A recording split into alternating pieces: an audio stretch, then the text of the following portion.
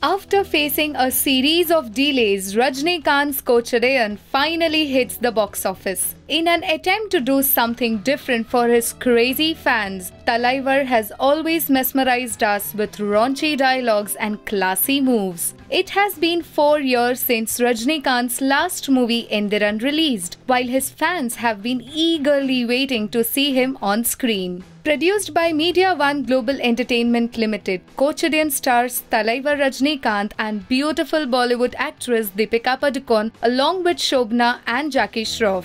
Here we bring you the top 5 reasons to watch Superstars Kochadaiiyaan. Number 1. India's first photorealistic performance capture movie. In her directorial debut, Soundarya Ashwin, for the very first time in Indian cinema, has used photorealistic motion capture technology, which is also called performance capturing technology. While the introduction shots in 3D are amazing, Rajiv Menon's cinematography is truly worth it. Number 2. The lead pair. In one of its kind chemistry, the lead pair Rajnikant and Deepika Padukone are surely a surprise package. While Talaivar's voice is not less than a magic, Deepika looks as pretty as doll.